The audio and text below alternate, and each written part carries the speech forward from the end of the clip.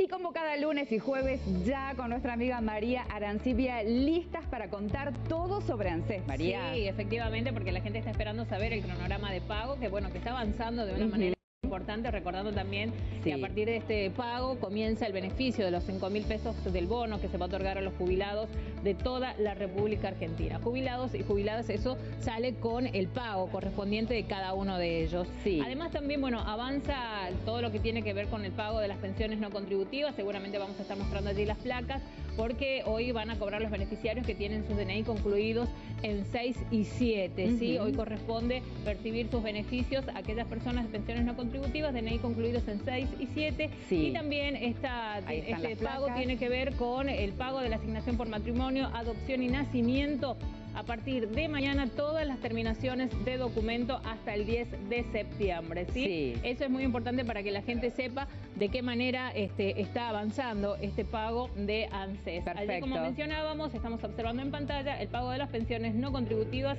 de NEI finalizados en 6 y 7. Y además también, Maritea, hay que remarcar que ANSES continúa con los operativos móviles y en estos momentos están trabajando en el barrio Sutiaga. Allí se está trabajando eh, los operarios, bueno, recordemos que brindan todo tipo de asistencia que está relacionado con las asignaciones, con cambio de bancos, con consultas que pueden hacer. Recordemos que hay una prueba piloto también de las jubilaciones y de las pensiones, que bueno, allí reciben asesoramiento sobre esta necesidad que, tiene la gente, ¿no? De realizar los diferentes trámites. Y esto es lo que está sucediendo en estos momentos reiteramos, en la plaza del barrio Sutiaga, que tiene que ver también con el programa Acercarnos, ¿sí? Del Ministerio de Gobierno de la provincia de Tucumán, que encabeza Carolina Vargas Agnaz, y allí con la presencia de Enrique Salvatierra, titular de la UDAI Tucumán, eh, trabajando en estos momentos. Y mañana, Marité, atención, porque estos operativos se van a trasladar hacia las cejas. Ah, bien. Desde las 8 de la mañana van a estar trabajando en la comuna, así que a todos los, vecinos y vecinas de allí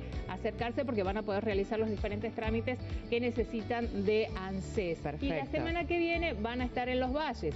Así que bueno, atención al Mollar y a Mancha del Valle porque a partir del próximo lunes los trabajadores se van a trasladar hacia esas comunidades para también continuar con las prestaciones de eh, la Administración Nacional de Seguridad Social. Fantástico, bueno, un servicio excelente entonces también para ellos que van a evitar el tener que viajar a la ciudad y pueden recibir todo allí. Y recordar, Marité, que todos los trámites son absolutamente gratuitos. No hay intermediarios y no se debe pagar nada. Bien. Busquen asesoramiento. Eh, eh, para eso están estos operativos. Si tienen dificultad en conseguir turno porque hay muchísima demanda, tienen la posibilidad de acercarse o consulten, pero son gratuitos, no hay intermediarios para esto. Me parece fantástico que lo recuerdes y tiene que ser permanente porque no dejan de sucederse los casos de personas que a veces ante la necesidad o, ante el apuro se dejan llevar por personas y terminan pagando un dinero innecesario. Que no corresponde. Así es.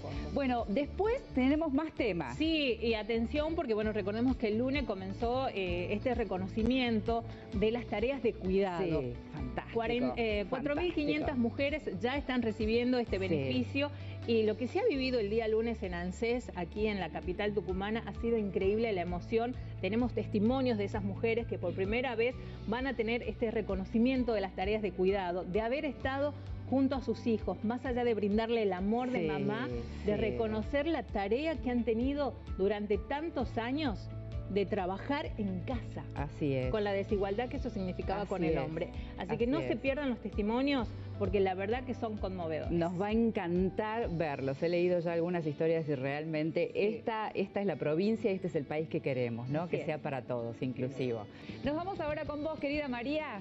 Por decisión del Gobierno Nacional, ANSES reconoce a las mujeres por las tareas de cuidado, por haber trabajado en casa por marcar esta desigualdad con los hombres y en este caso desde el lunes pasado en toda la República Argentina todas aquellas mujeres mayores de 60 años que no llegan con los años de aporte a través de la posibilidad de haber cuidado a sus hijos van a llegar a esos 30 años que necesitan para jubilarse. En este caso, aquí en Tucumán se ha lanzado este reconocimiento para todas aquellas mujeres y estuvieron presentes las autoridades, en este caso Marcelo Santillán, titular de ANSES a nivel regional, y además también el señor Enrique Salvatierra, que estuvo presente recibiendo a aquellas tucumanas que van a tener la posibilidad a partir de ahora de jubilarse.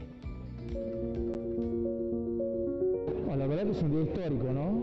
Es un día con muchas emociones, porque bueno, estamos eh, planteando un derecho, planteando una cuestión de justicia, una cuestión de paridad de género.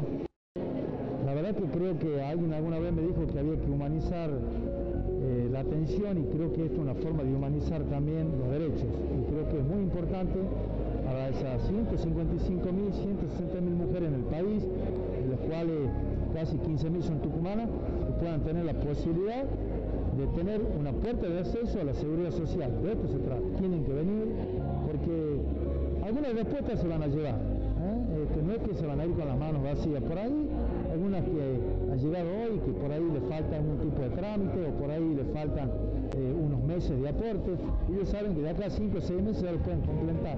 Entonces es fundamental que vengan a hacer uso de este derecho, que es una decisión política de un gobierno nacional, tratando de salvar esta brecha que existe en definitiva en lo que es el trabajo formal y informal, especialmente con las mujeres. ¿no?